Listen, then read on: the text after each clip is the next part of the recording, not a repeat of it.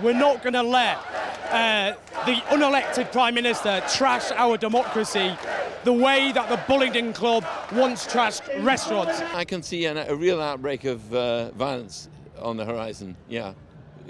Really terrifying violence. I never thought as a kid I would be living to see the end of democracy. You got this one wrong, mate. You've galvanised us. Thank you very much. Stop Brexit.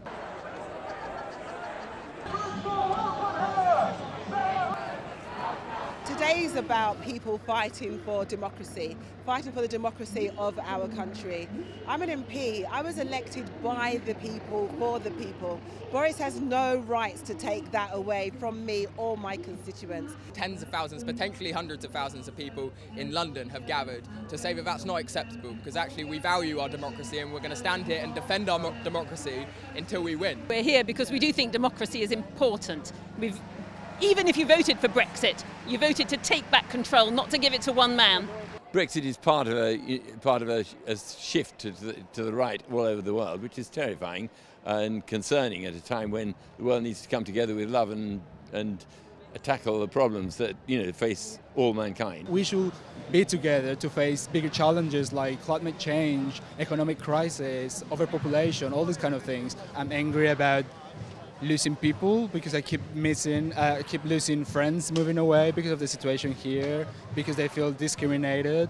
I'm from Romania. I've been here for five years and I love this country, but then kind of like went, I don't know, fell apart after the whole Brexit thing. I had some incidents. I remember the next day I was in my gym and I remember hearing these ladies. It was up in Hampstead Heath actually. It was like not like it wasn't outside London or something. But I remember hearing them talking about the, the foreigners in this country, like coming here, taking their jobs. That that's kind of cliche. So that really upset me. Uh, I'm 24, so I've only known a peaceful um, island, and that's something that's actually I feel really strongly about. It would just be horrific to go back to something where there could be a hard border. I've never lived on an island with a hard border. I've done what I can to explain it to people, but I think there's a real lack of uh, knowledge about the border issue. And also, I think just, I'm not sure that they really care about it that much. We're having this really right-wing extreme governments blocking the you know the democratic process. We are the bastion of democracy. We are we are this great country, the UK, and to not have a parliament that